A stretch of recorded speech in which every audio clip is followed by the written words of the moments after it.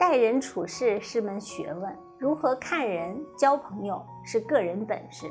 在交际场中，哪些人可以做朋友，哪些人不可深交，这些都是需要学习的门道。今天啊，咱们就来说说古人说的“奸者不离三”。这里的奸者指的是小人。这句话的意思啊，就是说有这三种特征的人不能相交。第一个特征啊，就是嚼舌根儿。小人最喜欢的就是在背后嚼舌根了，一般都是嫉妒心强，反正就看不得别人好。总喜欢在背后说别人的坏话，所以千万别跟这种人交往，因为可能跟你在一起的时候，你并没有发现他是这样的人。时间久了，当你在生活上方方面面都比他过得好的时候，他就会在别人面前说你的不好，想着要搞烂你的名声呢。第二呢，就是忘恩负义，这也是小人的一个特征。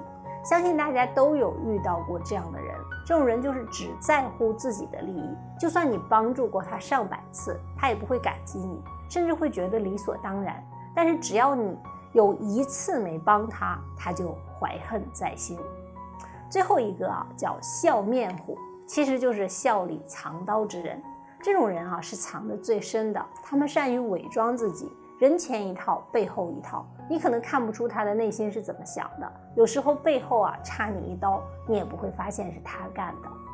明哲保身，趋利避害是人之本性，所以古人所讲的“奸者不离三”，今人不妨铭记，以备后患。